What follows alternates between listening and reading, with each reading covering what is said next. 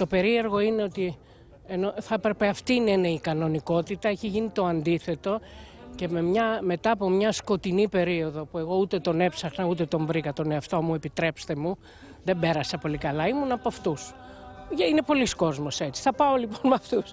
Έρχεται, έβλεπα προηγουμένως τον κόσμο κάτω, είσαστε εσείς δημοσιογράφοι, φώτα, σκηνή και λέω συμβαίνει. Υπάρχει μια φράση στο νούμερο που κάνω εγώ που λέω ο Θεός με φώτισε και δέχτηκα να συμμετέχω μόνο ως guest. Η ατομική μου ευθύνη λειτουργήσε. Όχι στο ακέραιο, αλλά λειτουργήσε. Καταλαβαίνετε εσείς που το πάει το νούμερο. Το πάει πάρα πολύ.